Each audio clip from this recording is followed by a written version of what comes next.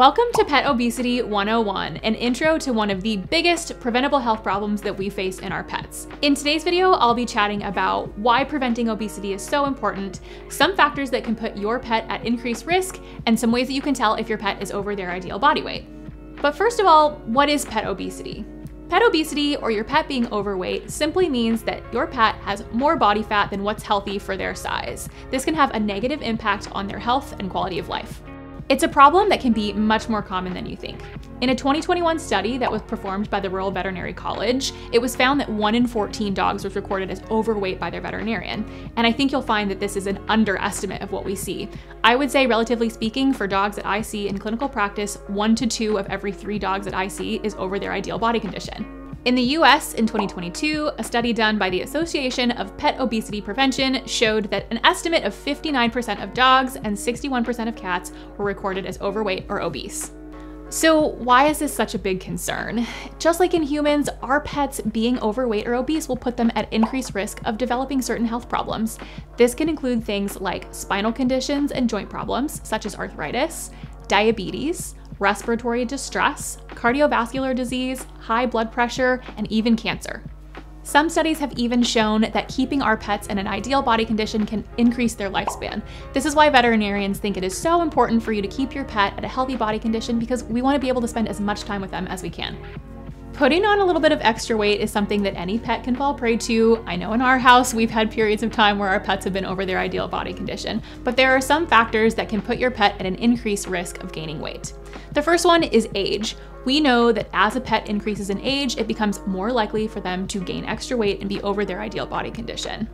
The next is pet breed. We know that genetics plays a role in being prone to gaining and keeping weight on. So certain breeds are gonna be at an increased risk of weight gain. This includes our retrievers, our Labradors, and our Goldens, but also breeds like pugs and beagles. Another factor that can make a significant impact on weight gain is neutering, which a lot of pet parents aren't aware of.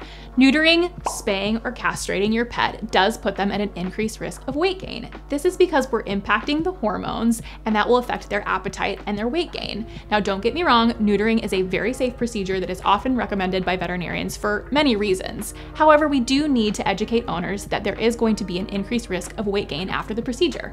Another factor when it comes to gaining weight is lifestyle.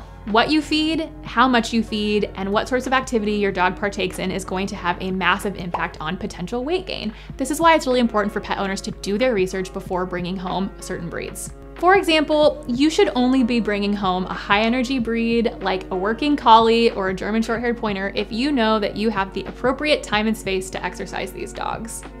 One thing that's really important to remember is what classifies your pet as being overweight or obese is going to be different for every individual dog or cat. This is gonna vary on breed and species, among other factors.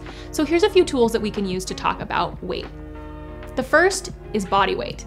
Now, a number on the scale is not always the most important thing, but it is a tool that we can utilize to help us measure periods of time, right? Getting your pet used to stepping on a scale is a very good way for us to keep track of things over time. It shouldn't be the only tool that we use, but it's an important place to start.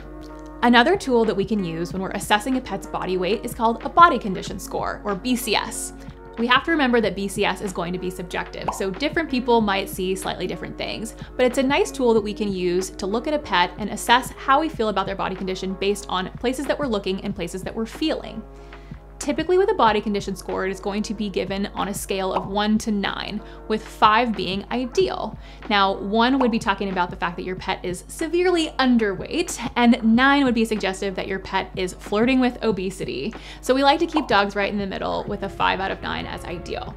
There's a few places that we can look and a few places that we can feel when we're talking about body condition scoring a pet.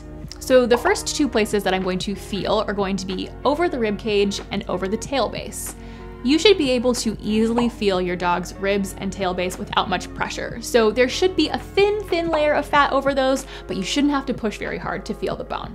Two places that you can look at your dog is from the top and from the side. When we look down at our pets from standing over them, they should have a waist. They should have a little bit of an indent that we can see. Similarly, when we're looking at our dogs from the side, there should be a little bit of an abdominal tuck, and we should be able to look at that and see that gradual change. Again, it's important to remember that body condition scoring is going to be very subjective. So while it is a helpful tool, it should not be the only tool that we use to assess whether a pet is over or underweight. There are other ways and other factors that we can use to assess a pet's body weight or body condition when it comes to their health. Now, these do become more advanced, so they may be used less commonly, but again, more helpful tools for us. The first would be something like body fat percentage, which sometimes we can estimate in conjunction with body condition score, but we can also use things like measurements of your pet, such as places like their skull or their arm length, to determine what a healthy weight would be. And last but not least is going to be the gold standard, which is similar to human medicine, like a DEXA scan. You won't find a DEXA scan is done ideally in veterinary medicine because of the cost and the time. However, like I said, it's nice to have all of these options when we're assessing the body condition of a pet. I always recommend taking the advice of a veterinarian or a certified veterinary nutritionist when we talk about choosing the food and the amount of food that is right for your pet, especially when we're talking about weight loss. If you want more information about this, check out some of our other videos about obesity to get more detail about choosing the right food and what sorts of things we look for.